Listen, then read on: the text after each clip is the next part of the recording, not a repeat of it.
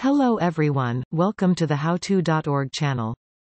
To be able to create an Outlook or Hotmail account, which is the same thing, the first thing we'll do is type in the address bar, outlook.com. Here, let's click on the Create Free Account button.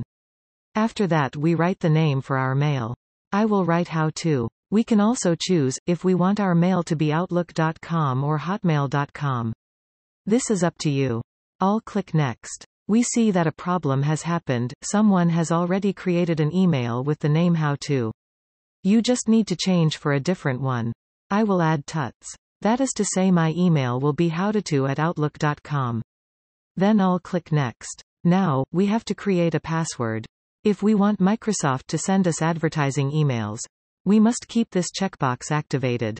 If you don't want to be sent advertising, click it to deactivate the checkbox.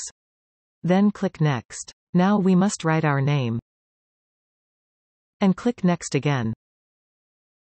We choose our country and enter our date of birth. Then click Next. Now we have a security measure here to verify that we are not a computer bot.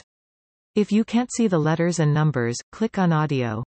Or you can click on New to get another image. Alright, now we write what we see there. Click Next. We wait a few seconds.